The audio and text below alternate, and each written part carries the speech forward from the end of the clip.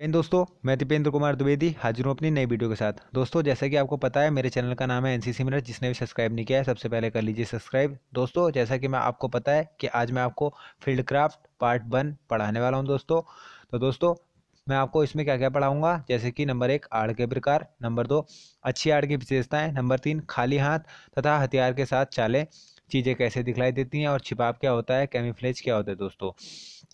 दोस्तों, ये C certificate और बी सर्टिफिकेट के लिए काफ़ी ज़्यादा इंपॉर्टेंट है तो मैं आपको इसकी आज तैयारी कराऊँगा दोस्तों। जैसा कि आपको पता है कि मैं अपने चैनल पर ए ग्रेड की गारंटी लेता हूँ तो दोस्तों, मैं आपको बता देता हूँ, उसके लिए आपको ज़्यादा कुछ नहीं करना होता। मेरी जितनी भी वीडियो आती है, उनसे जितना नॉलेज मिलता है, वो नॉलेज लेना होता है। उसके बाद मैं आपको इसी चैनल पर लास्ट ईयर के एग्ज़ाम पेपर भी सॉल्व कराऊँगा और नोट्स भी अवेलेबल कराऊँगा। नोट्स मैं आपको टेलीग्राम पर अवेलेबल कराऊँगा दोस्तों, जहाँ पर मैंने एक ग्रुप बना रखा है।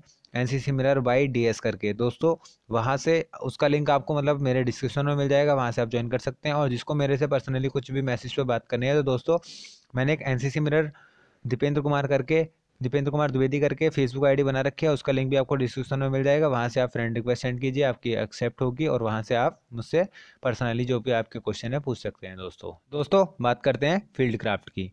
तो फ़ील्ड क्राफ्ट क्या है? फ़ील्ड क्राफ्ट उपलब्ध ज़मीन को सही ढंग से इस्तेमाल करने की एक कला है, जिसमें हम अपने को छिपाकर शत्रु पर लुके छिपे आक्रमण कर सकते हैं। इसके अंतर्गत आड़े, चाले concealment camouflage fire and movement दूरी का अंदाज़ा लगाना टारगेट को चिन्हित करना आदि विषय आते हैं। दोस्तों मतलब क्या है? आप दुश्मन के इलाके में हैं तो आपको वहाँ पर खुद पर छिप मतलब खुद को कैसे छिपाना है मतलब ज़मीन के कलर का आपको बनना है और उसके बाद दुश्मन पे आपको अटैक किस तरीके से करना है, वो सब चीज़ें। और दुश्मन कितनी दूरी पे है, वो सब चीज़ों का जो अंदाज़ा लगाना है। एक बोल सकते हैं, लड़ाई से पहले जो आपको एक प्लानिंग करनी होती है या लड़ाई के दौरान जो आपको प्लानिंग करनी है तो वो आपकी फ़ील्ड क्राफ्ट के अंदर ही आती है। ठीक है दोस्तों, फ़ील्ड क्राफ्ट क्या है? एक लड़ाई को सही तरीके से लड़ने का तरीका। ठीक है दोस्तों मतलब आप लड़ाई को लड़ने का तरीका सीखते हैं। अब बात करते हैं दोस्तों, आड़। आड़ क्या है? तो दोस्तों, आड़ क्या होता है? किसी से छिपना। आपको देसी आशा में पता होगा कि आड़ क्या चीज़ होती है। ठीक है दोस्तों, अब बात करते हैं आड़। आड़ दो प्रकार की होती है। नंबर एक, नजरी आड़, नंबर दो, फायर से आड़। दोस्तों, पहले बात करते हैं नजरी आड़ की। वे आकृतियाँ जो शत्रु की नज़र से बचाती हैं, जैसे झाड़ियाँ या वनस्पतियाँ या टूट फूट की ज़मीन की आड़। ठीक है दोस्तों? मतलब दुश्मन की आँखों से बचने वाली जो आड़ होगी, वो होगी नजरी आड़। अब बात करते हैं नंबर दो की। तो दोस्तों, फायर से आड़। फायर से आड़, वे आकृतियाँ जो शत्रु के फायर व नज़र से बचाती हैं, जैसे दीवार, बड़ा पेड़ आदि। जवान को आड़ का प्रयोग सोच समझकर सावधानी पूर्वक करना चाहिए। अब दोस्तों, बात करते हैं नंबर दो वाली फायर की आड़ जो होती है। तो दोस्तों, वे ऐसी आपको आड़ ढूंढनी है जिससे आप दुश्मन की गोली से भी बच सकें और दुश्मन की निगाह से भी। तो हम उसे बोलते हैं फायर से आड़ दोस्तों। अब बात करते हैं दोस्तों अगले टॉपिक की। तो अगला टॉपिक है अच्छी आड़ की विशेषता तथा मूल तत्व ठीक है दोस्तों तो अच्छी आड़ की विशेषता क्या होती है? जहाँ छिपकर दुश्मन के ऊपर निगरानी रखी जा सके तथा सुगमता से उससे ऊपर फायर डाला जा सके। मतलब दोस्तों, जहाँ आप अच्छी तरीके से छिप भी सके और दुश्मन के ऊपर आसानी से गोलीबारी भी कर सकें। जहाँ से शत्रु की निगरानी व फायर से बचा जा सके। मतलब आप दुश्मन को दिखाई भी ना दे और दुश्मन की गोली भी आपको ना लगे। ये एक अच्छी आड़ की विशेषता है। जहाँ से आगे सुगमता से बढ़ा जा सके। मतलब आसानी से आप वहाँ से आगे पीछे हो सकें, ठीक है दोस्तों? जहाँ काफ़ी देर तक आरामदेह स्थिति में रहा जा सके। मतलब दोस्तों ये नहीं कि आप आड़ में ऐसी जगह खड़े हैं कि एक टांग पर ही खड़ा होना है। मतलब आपको कंफर्टेबल होना चाहिए आपकी आड़, ठीक है दोस्तों? अब बात करते हैं अगली टॉपिक की। तो अगला टॉपिक है आपका दोस्तों चाले, यानी मूवमेंट्स तो दोस्तों, लड़ाई के मैदान में दुश्मन की निगाह से बचने के लिए जवानों को विभिन्न प्रकार की चालों का प्रयोग करना पड़ता है। चालें दो भागों में बांटा गया है दोस्तों। अब चालें दो भागों में बांटी जाती हैं। दोस्तों, आपके हाथ में या तो हथियार होगा या नहीं होगा। अब हथियार के साथ है तो दोस्तों, पहले हम बात करते हैं बगैर हथियार। जब आपके हाथ में हथियार नहीं है तो कौन कौन सी चाल आप चल सकते हैं। दोस्तों, नंबर एक चाल जो आपकी है, बंदर की चाल। हाथ व घुटनों के बल आपको चलना होता है, ठीक है दोस्तों? हाथ और घुटनों से आपको चलना होगा तो आप बंदर वाली चाल। अब बात करते हैं चीते की चाल। तो दोस्तों, चीते की चाल में घुटने और कोहनियों से चलना होता है, ठीक है दोस्तों? मतलब अब आपकी क्रोलिंग वाली पोजीशन आ जाएगी। अब बात करते हैं लुढ़कना तो लुढ़कना तो आपको पता है नॉर्मल रोल होना है आपको। अब बात करते हैं बिल्ली की चाल तो दोस्तों बिल्ली की चाल आपकी नॉर्मली होती है। उसमें कुछ अलग नहीं, बस हाथों से आपको चलना होता है घुटनों से चलना होता है। अब पेट के बल चलना दोस्तों तो पेट के बल आपको मतलब घिसट घिसट के लुढ़कते हुए चलना है। ठीक है दोस्तों, अब बात करते हैं बिल्ली के बच्चे की चाल। तो बिल्ली के बच्चे की चाल क्या होती है दोस्तों? वो ज़्यादा एक्टिव होता है और नॉर्मल वही हाथों और पंजों से मतलब घुटनों से ही आपको चाल चलनी होती है। अब बात करते हैं बगैर हथियार के चाले दोस्तों। बगैर हथियार के चाले। तो दोस्तों, बगैर हथियार की चालों में भी आपकी चीता चाल आती है, क्योंकि दोस्तों ये चाल ऐसी है जो आप हथियार के साथ भी चल सकते हैं और बिना हथियार के साथ भी। तो दोस्तों, इसमें दोनों हाथों में राइफल रखकर कोहनियों व घुटनों से चलते हैं। ठीक है दोस्तों, अब बात करते हैं बंदर की चाल। तो इसमें राइफल को लेटी हुई दशा में संतुलित स्थान पर पकड़कर हाथ व घुटनों के बल चलना होता है। ठीक है दोस्तों? संतुलित करके आपको राइफल मतलब उसका वेट बराबर करके दोनों तरफ़ वो वहाँ से बीच से पकड़ के आपको चलना होता है। ठीक है? यहाँ ध्यान देने योग्य है कि राइफल की मजल को ज़मीन पर नहीं लगाने देना चाहिए। मतलब दोस्तों, जो आपकी राइफल, जहाँ से आपकी गोली निकलती है, जिसे हम बोलते हैं मजल या कैलीवर या एक नाम और होता है, मैं भूल रहा हूँ, मैं आपको वीडियो में बता दूँगा दोस्तों तो वो आपका ज़मीन पे नहीं लगना चाहिए। उसे हम बोलते हैं, नाम याद है, कुतर दोस्तों, ठीक है? अब बात करते हैं अगली चाल की दोस्तों तो अगली चाल आपकी है लुढ़कन, ठीक है? लुढ़कना। तो दोस्तों, इसमें ज़मीन पर पीठ के बल लेटकर राइफल की नोक को छाती की तरफ़ रखते हुए दोनों पैरों के बीच रखकर, दोस्तों बटों को पैरों के बीच में रखना है और नोक को सीने से लगाकर राइफल पर अंटा देकर लुढ़कते हैं दोस्तों, ठीक है? मतलब राइफल के ऊपर से लुढ़कना है। राइफल को बॉडी से चिपका करके उसके ऊपर लुढ़कना है, ठीक है दोस्तों? अब बात करते हैं अगली चाल की। तो दोस्तों, अगली चाल है साधारण चाल या टहल कर चलना। जब जवान दुश्मन से बहुत, जब जवान दुश्मन से बहुत अधिक दूरी पर होता है, तब हथियार को कंधे पर लटका कर या शिकारी की अवस्था में साधारण चाल चलते हैं। दोस्तों, जब आपसे दुश्मन बहुत दूर है तो दुश्मन को आप दिखाई नहीं देंगे या वो आपके ऊपर फायर नहीं करेगा दोस्तों। तो आपको उस टाइम आप नॉर्मल चल सकते हैं जैसे आप चलते हैं। अब बात करते हैं दोस्तों अगले टॉपिक की। तो अगला टॉपिक आपका है दोस्तों, चीज़ें कैसे दिखलाई देती हैं। दोस्तों, चीज़ें किन चीज़ों से दिखाई देती हैं? तो दोस्तों, वो आपके, मैं टॉपिक हैं तो मैं आपको बता देता हूँ और समझा भी देता हूँ। तो दोस्तों, नंबर एक, आकार। बहुत सी वस्तुएँ अपनी विशेष आकार से पहचानी जाती हैं। विशेष रूप से वे जब अपनी आसपास की वस्तुओं से भिन्न होती हैं, जैसे स्टील हेलमेट अपनी विशेषता गोल आकृति के कारण दूर से तुरंत पहचान लिया जाता है। दोस्तों, देखो अब आपका एक मकान है, मकान का एक स्पेशल तरीके का आकार होता है तो उस आप आकार से ही तो पहचानते हैं ये मेरा मकान है? मतलब हर चीज़ की एक अलग ही अपना आकार होता है। अब जैसे हम आपके देख लेते हैं बंदूक की गोली, हम बंदूक की गोली को देख के तो पहचान लेते हैं कि हाँ ये बंदूक की गोली है, राइफल को हमने देखा, उसका आकार देखा सबसे पहले तो हम वहाँ से बता सकते हैं राइफल है। अब बात करते हैं चमक। चमक किसी वस्तु की हो या मनुष्य के शरीर के, किसी अंग की हो। आँख को तुरंत आकर्षित करती आकर्षित मतलब उसकी तरफ़ हमारी आँखें खींचती हैं दोस्तों। जैसे कैप बेच में चमक दूर से दिखलाई पड़ती है दोस्तों। मतलब आपका जो कैप का आपने देखा होगा हैक्कल होता है, वो दूर से ही चमकता है। जैसे आपका बेल्ट का गित्ता जो होता है, वो भी आपका दूर से चमकता है दोस्तों।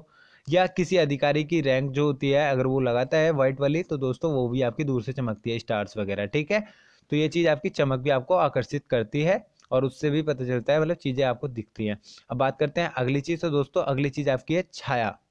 दोस्तों, किसी वस्तु की धूप या पानी में पड़ने वाली छाया की तरह ध्यान तुरंत आकर्षित होता है। दोस्तों, आप कहीं भी चल रहे हो, आपकी छाया बगल में पड़ रही है तो आपको तुरंत ध्यान आकर्षित हो जाता है कि यार, मेरे साथ में क्या चल रहा है। तो वही चीज़ है, छाया भी आपको आकर्षित करती है और छाया की वजह से भी चीज़ें दिखलाई देती है। ठीक है दोस्तों, यही इसमें बता रखा है कि किसी वस्तु कि धूप या पानी में पड़ने वाली छाया की तरफ़ से ध्यान तुरंत आकर्षित होता है, भले ही वस्तु आँख से दिखाई दे या न दे। ठीक है दोस्तों? अब बात करते हैं अगले के दोस्तों, सतह। यदि किसी वस्तु की सतह रंग, बनावट अपने आसपास से विपरीत हो तो वह शीघ्र सुस्पष्ट सतह से वस्तुएँ शीघ्र पहचानी जाती है दोस्तों। मतलब आपके आसपास की चीज़ें हैं। अब देखो दोस्तों, मैं कैसे बता सकता हूँ? आप एक जंगल में एक घर बना हुआ है दोस्तों। अब जंगल पूरा हरा होगा बट आपका अगर घर का कलर कुछ और है तो दोस्तों वो मतलब सतह की वजह से पहचान लिया जाएगा। या आप देख लीजिए ग्राउंड में एक घर बना हुआ है। अब सतह क्या है? ग्राउंड की बिल्कुल प्लेन है। बट आपका घर उठा हुआ है तो वो आपकी सतह की वजह से पहचान लिया जाएगा। अब बात करते हैं दोस्त फासले की। प्रकृति में किसी वस्तु निश्चित फासले पर नहीं होती। अतः जवानों, गाड़ियों, तंबू का नियमित फासला अपनी ओर आकर्षित करता है। मतलब दोस्तों, देखो, आपने देखा होगा, प्रकृति की कोई भी चीज़, जो जितने भी नेचुरल चीज़ें हैं, वो एक निश्चित दूरी पर नहीं होती ठीक है दोस्तों? बट जो उनका फासला होता है, वो आपको बता देता है मतलब आपको दिखा देता है कि कोई चीज़ पहचानने में मदद करता है। ठीक है दोस्तों, जैसे एक आर्मी का ट्रक जा रहे होते हैं तो दोस्तों आपने देखा होगा उनके बीच में एक निश्चित दूरी होती है, उसकी वजह से हमें वो पहचाने जा सकते हैं। अब बात करते हैं अगले की तो दोस्तों अगला क्या होता है? तिमिर चित्र। अब दोस्तों तिमिर चित्र क्या होता है? इसकी डेफिनेशन भी आपसे पूछ लेते हैं। जब कोई वस्तु अपने से विपरीत रंग में होती है, वह आँख को शीघ्र आकर्षित करती है, जैसे सफ़ेद पृष्ठभूमि पर कोआ या चील बैठा होना। दोस्तों जैसे कि आप आसमान की तरफ़ देखते हैं, आसमान हमारा या तो आसमानी दिखाई देता है या बादल होते हैं तो सफ़ेद दिखाई देता है। बस दोस्तों, वहाँ पर आपने जब कभी देखा होगा, कोई चील या कौवा उड़ रहा होता है तो दोस्तों वो आपको आँखों को आकर्षित करता है वो अलग से ही दूर से दिखाई देता है। तो दोस्तों, आपको तिमर चित्र भी आपको आकर्षित करता है। तिमर चित्र का मतलब क्या है कि आपके बिल्कुल ग्राउंड से अलग कलर का मतलब होना, कोई चीज़ का, किसी चीज़ का कलर अपने आसपास की चीज़ से बिल्कुल भिन्न होना तो वो तिमिर चित्र होगा। ठीक है दोस्तों, अब बात करते हैं अगले की तो दोस्तों हरकत। कोई भी वस्तु आँख को उतारना शीघ्र आकर्षित करती है। ठीक है दोस्तों, आँखों को उतना शीघ्र आकर्षित नहीं करती जितना की हरकत। मतलब दोस्तों, आप सामने देख रहे हैं, आपके सामने से कोई भी चीज़, कुत्ता हो या कोई गाड़ी हो या फिर कोई चील हो, कुछ भी हो या कौआ हो, दोस्तों अगर कोई भी चीज़ आपके सामने से एकदम से हरकत करती है, गुजरती है तो दोस्तों आप तुरंत उसकी, आपकी आँखें उसकी तरफ़ आकर्षित हो जाती हैं। तो दोस्तों वही चीज़ की हरकत से भी आपको चीज़ें दिखाई देती हैं। दोस्तों, बात करते हैं अगले टॉपिक की। तो अगला टॉपिक आपका है दोस्तों, छिपाव। तो दोस्तों, छिपाव क्या है? प्राकृतिक दृश्य या आकृतियों के पीछे। अपने को इस प्रकार से छिपाना कि दुश्मन की नज़र व फायर से बच सकें। कंसीलमेंट कहलाता है। लड़ाई में कंसीलमेंट का मुख्य उद्देश्य अचानक छिपकर हमला करना या अपने को बचाना है दोस्तों। अब छिपाव क्या है दोस्तों? छिपाव का मीन्स क्या है? आप जंगल में जा रहे हैं, जंगल में सारी चीज़ें हरी हैं दोस्तों तो वहाँ पर आपको क्या करना है? नॉर्मल अपने ऊपर हरे पत्ते बाँध लेने हैं, या आपकी हरी कलर की यूनिफॉर्म है तो उस चीज़ को पहन लेना है। जैसे आपने देखा होगा, आर्मी की यूनिफॉर्म जैसे हमारे भारत में हरियाली ज़्यादा पाई जाती है दोस्तों तो हमारे आर्मी की यूनिफॉर्म हरी है। आपने पाकिस्तान का देखा होगा, वहाँ पर थोड़ा पीलेपन में होती है घास फूस या जंगल एरिया तो वहाँ पर उनकी थोड़ा पीलापन ज़्यादा होता है यूनिफॉर्म में। तो वही चीज़ है दोस्तों कि प्राकृतिक चीज़ों से खुद को युद्ध के मैदान में छिपाना, ये होता है छिपाव। ठीक है दोस्तों, अब बात करते हैं कैमीफिलेज। तो यह एक कला है जिसमें कृत्रिम वस्तुओं का इस्तेमाल करके। अब दोस्तों देखो, यहाँ पर क्या था? छिपाव और और कैमिफ्लेज में बस थोड़ा सा अंतर है दोस्तों। इसमें क्या है? प्राकृतिक दृश्य आकृति के पीछे। ठीक है दोस्तों, इसमें प्राकृतिक है और इसमें क्या है? कृत्रिम, यानी मानव निर्मित। ठीक है दोस्तों तो कैमिफ्लेज क्या है? यह एक कला है जिसमें कृत्रिम वस्तुओं को इस्तेमाल करके कंसीलमेंट हासिल किया जाता है दोस्तों। मतलब दोनों में करना आपको छिपा भी है बट इसमें आपको छिपाव में करना है प्राकृतिक चीज़ों से और कैमिफ्लेज में आपको करना है मानव निर्मित चीज़ों से। ठीक है दोस्तों, अब बात करते हैं कैमिफ्लेज का थोड़ा विस्तार से। तो दोस्तों, कैमिफ्लेज तथा कंसीलमेंट का मुख्य सिद्धांत निम्न है। वर्दी, हथियार व गाड़ी की चमक दमक तथा रूपरेखा को मिटाकर सकल बदल दें ठीक है दोस्तों? छाया का इस्तेमाल करें, क्षितिज रेखा से बचें, क्योंकि चित्र आप दिखाई दे जाते हैं। दोस्तों, अब बात करते हैं धीमे चलें, क्योंकि मूवमेंट अगर हल्का होगा तो आपको देख पाना दूर से आसान नहीं होगा। आसपास की भूमि के रंग में बदलें। दोस्तों, वही चीज़ आ गई आसपास की भूमि का रंग मैंने आपको बताया था, जैसे आप भारत में हैं, अगर हरियाणा के एरिया में तो आपको हरा, राजस्थान में आपने देखा होगा दोस्तों तो यूनिफॉर्म आपके पीलेपन में रहती है। अब आप जब जब आपकी बर्फ़ पड़ जाती है तो आपके सफ़ेद कलर की यूनिफॉर्म हो जाती है। तो ये सब चीज़ कैमिफ्लेज में आती है दोस्तों। अब बात करते हैं अगले की तो दोस्तों, पानी में अपनी छाया ना पड़ने दें, क्योंकि दोस्तों, पानी में जब आपकी छाया बढ़ती है ना तो वो दूर तक परछाई बन के जाती है। ठीक है दोस्तों, अब बात करते हैं अगले की, कैमिफ्लेज की वस्तुओं को समय तथा परिस्थिति के अनुसार बदलते रहे। मतलब दोस्तों, आप माना हरियाली वाले एरिया में जा रहे हैं, आपने हरी कलर की चीज़ें अपने यूनिफॉर्म में मतलब शामिल कर रखी हैं। बट दोस्तों, अब आगे जाके सूखा एरिया आ जाता है, माना मैदान आ जाता है तो मैदान में दोस्तों, अब मैदान की मिट्टी का कलर पीला होगा या कत्था ही होगा दोस्तों तो उस हिसाब से आपको अपनी बॉडी को चेंज करना होगा। ठीक है? तो दोस्तों, ये आज का टॉपिक है। अब बात करते हैं दूरी का अंदाज़ा। दोस्तों, ये आपको नेक्स्ट वीडियो में देखने को मिलेगा। तो दोस्तों, जिसको भी वीडियो पसंद आई है लाइक कीजिए चैनल को सब्सक्राइब कीजिए। आप वीडियो अगर पहली बार देख रहे हैं मेरे चैनल पर तो दोस्तों चैनल को सब्सक्राइब करना बिल्कुल ना भूलें और ज़्यादा से ज़्यादा दोस्तों को शेयर करें। और दोस्तों, मैं पहले भी बोल चुका हूँ, अब भी बोल रहा हूँ कि आपकी एक ग्रेड की मैं गारंटी लूँगा। बसरते आपको नोट्स से तैयारी करनी होगी और मेरी वीडियोस से जितना नॉलेज मिलता है, वो नॉलेज आपको लेना होगा दोस्तों। ठीक है दोस्तों, मिलते हैं नई वीडियो नए टॉपिक के साथ। जय हिंद, जय भारत।